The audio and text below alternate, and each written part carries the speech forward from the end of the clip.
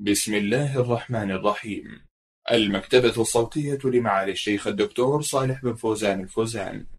شرح كتاب آداب المشي إلى الصلاة للإمام المجدد محمد بن عبد الوهاب رحمه الله. شرح سماحة العلامة الشيخ صالح بن فوزان الفوزان. الدرس السادس والعشرون. بسم الله الرحمن الرحيم. الحمد لله رب العالمين والصلاة والسلام على قائد الغر المحجلين نبينا محمد وعلى آله وصحبه أجمعين.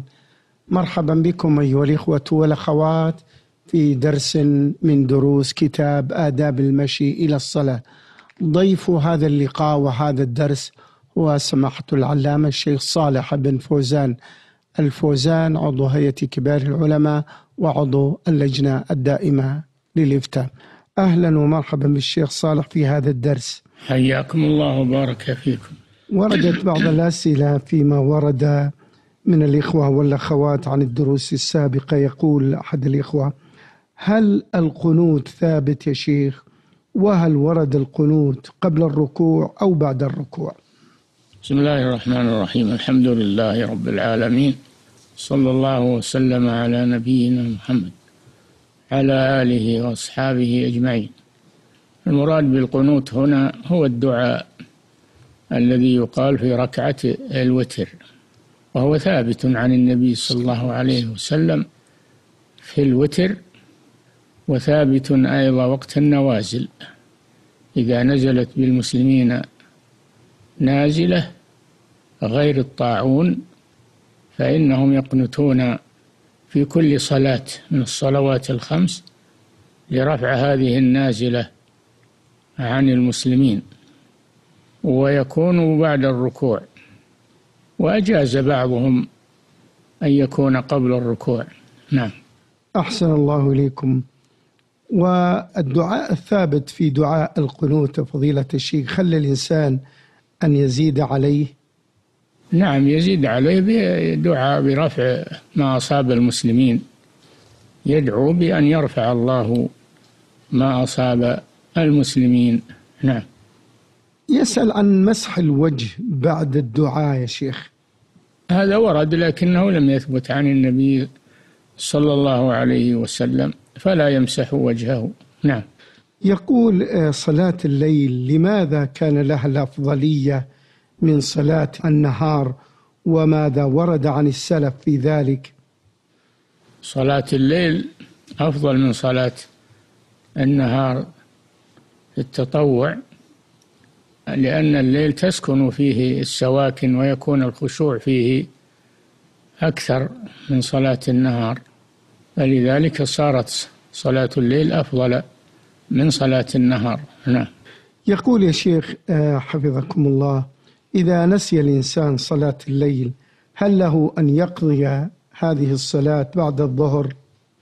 لا يقضيها فيما بين ارتفاع الشمس إلى قبيل دخول وقت الظهر إلى أن تتوسط الشمس في كبد السماء فله أن يقضي الوتر في هذه الفترة لأن النبي صلى الله عليه وسلم كان إذا فاته الوتر من الليل قضاه في النهار فيما بين ارتفاع الشمس إلى قبيل دخول وقت الظهر ويشفعه صلى الله عليه وسلم.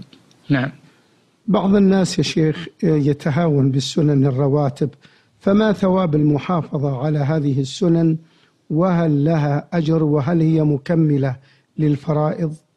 نعم صلاة الرواتب التي مع الفرائض وهي عشرون ركعة ركعتان قبل الظهر ركعتان بعدها ركعتان بعد المغرب وركعتان بعد العشاء وركعتان قبل صلاة الفجر وهما آكد الرواتب. فهذه يحافظ عليها المسلم. إلا إذا قصر الصلاة في السفر فإنه إذا قصر الصلاة في السفر فإنه لا يأتي بالرواتب. قال ابن عمر رضي الله تعالى عنهما لو كنت مسبحا يعني متنفلا لأتممت. نعم. قال المؤلف رحمه الله تعالى حيث وقف بنا الحديث عند قول الرسول صلى الله عليه وسلم اجعلوا آخر صلاتكم بالليل وترا. نعم هذا أمر من النبي صلى الله عليه وسلم أن يختم التهجد في الليل بالوتر. يكون آخر صلاة الليل هو الوتر. نعم. قال فإن أحب من له تهجد متابعة الإمام قام إذا سلم الإمام فجاء بركعة. هذا في رمضان إذا صلى التراويح مع الإمام وأوتر معه فإنه يكتفي بهذا الوتر ويقوم من آخر الليل ويصلي ما تيسر له. ويكتفي بالوتر الذي أداه في أول الليل. قوله صلى الله عليه وسلم لا وتران في ليلة أما قوله اشفعه بركعة آخر الليل لا محل نظر ولم يثبت. نعم. قال صلى الله عليه وسلم من قام مع الإمام حتى ينصرف كتب له قيام ليلة صححه الترمذي. نعم. قال صلى الله عليه وسلم من قام مع الإمام يعني في صلاة التراويح حتى ينصرف كتب له قيام ليلة كاملة. وهذا فضل من الله سبحانه وتعالى. وهو يدل على أن المسلم يصلي صلاة التراويح مع المسلمين إلى آخرها ولا ينصرف قبل إتمامها. لأجل هذا الوعد من الله أن الله يكتب له قيام ليلة كاملة. نعم. ويستحب حفظ القرآن إجماعا وهو أفضل من سائر الذكر. استحب حفظ القرآن عن ظهر قلب. أجمع العلماء على استحباب حفظ القرآن من أجل أن يتلوه وأن يقرأ به ويتلذذ به في صلاته وخارج الصلاة. أما إذا كان لا يحفظ القرآن فإنه تثقل عليه التلاوة من المصحف. فالحفظ أفضل. نعم.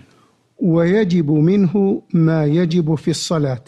يجب أن يحفظ من القرآن ما يكفيه لصلاة الفريضة من قصار السور. يكفي هذا قصار السور لأجل أن يقرأ بها في صلاته.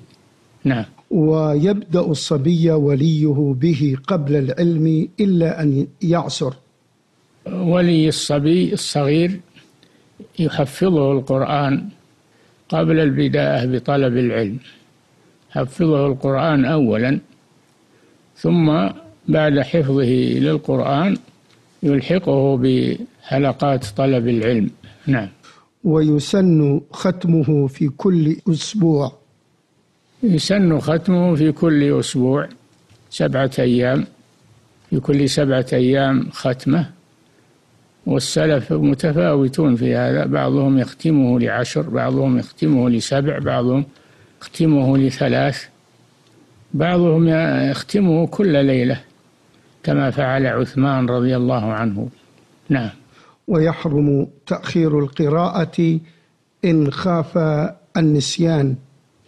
نعم ينبغي تكرار القرآن تكرار الحفظ خشية النسيان. فإذا خشي نسيانه فإنه يجب عليه أن يقرأه لأجل إبقائه في ذاكرته. نعم. ويتعوذ قبل القراءة. هذا من آداب القراءة أنه يستعيذ من الشيطان. قبل شروعه في القراءة القرآن. قال تعالى فإذا قرأت القرآن فاستعذ بالله من الشيطان الرجيم. يعني إذا أردت قراءة القرآن فاستعذ بالله أولا من الشيطان الرجيم. نعم. ويتعوذ قبل القراءة ويحرص على الإخلاص. تعوذ من الشيطان الرجيم قبل شروعه في القراءة. فقوله جل وعلا فإذا قرأت القرآن فاستعذ بالله أي إذا قرأت القرآن أي أردت قراءته. وليس المعنى أنك إذا فرغت من القراءة تستعيذ من الشيطان الرجيم. نعم. ويحرص على الإخلاص ودفع ما يضاده. يحرص على الإخلاص في تلاوة القرآن ويدفع ما يضاد الإخلاص. من الرياء والسمعة والطمع في أمور الدنيا. قيل للإمام أحمد رجل يقول أصلي بكم في رمضان بكذا وكذا. قال رضي الله عنه أعوذ بالله ومن يصلي خلف هذا؟ نعم. ويختم في الشتاء أول الليل وفي الصيف أول النهار. نعم. يختار أطولهما ففي الشتاء يختم أول الليل التي يصلي عليه الملائكة حتى يصبح وليل الشتاء طويل فتكثر صلاة الملائكة عليه لطول الليل. وأما في الصيف فيختم في أول النهار لأن نهار الصيف أطول من ليله. نعم. قال طلحة بن مصرف أدركت أهل الخير من هذه الأمة يستحبون ذلك. نعم قال طلحة بن مصرف وكان خيرة آه، علماء وقته وعبادهم أدركت أهل الخير من هذه الأمة يستحبون ذلك أن يختموه في أول النهار في وقت الصيف. وأول الليل في وقت الشتاء لأن أن النهار أطول من الليل في وقت الصيف والليل أطول من النهار في وقت الشتاء. نعم. يقولون إذا ختم أول النهار صلت عليه الملائكة حتى يمسي. هذا هو السبب في كونه يختار أن يختم القرآن في أول النهار في الصيف. لأن الملائكة تصلي عليه حتى يمسي نهار الصيف أطول من ليله تكثر صلاة الملائكة عليه. من أجل ذلك نعم. وإذا ختم أول الليل صلت عليه الملائكة حتى يصبح. وهذا في الشتاء. إذا ختم في أول الليل تصلي عليه الملائكة حتى يصبح. ليل الشتاء أطول من نهار الشتاء فتكثر صلاة الملائكة. نعم. رواه الدارمي عن سعد بن أبي وقاص وإسناده حسن. رواه الإمام الدارمي في مسنده عن سعد بن أبي وقاص رضي الله عنه الصحابي الجليل. نعم. حدثونا عن الإمام الدارمي يا شيخ صالح؟ الإمام الدارمي صاحب المسند المشهور بمسند الدارمي وهو من أكابر المحدثين في وقته رحمه الله. نعم. شكر الله لكم وبارك الله فيكم وفي علمكم ونفع بكم الأمة الإسلامية على تفضلكم بشرح هذا الكتاب كتاب آداب المشي إلى الصلاة. شكرا لحضراتكم أنتم أيها السادة ويتجدد اللقاء مع الدروس القادمة مع سماحة الشيخ صالح الفوزان عضو هيئة كبار العلماء وعضو اللجنة الدائمة للإفتاء. أشكر فريق العمل الذين سجلوا هذه الدروس كما أشكر زميلي عبد الله المواش من الإذاعة الخارجية في إذاعة القرآن الكريم. والسلام عليكم ورحمة الله.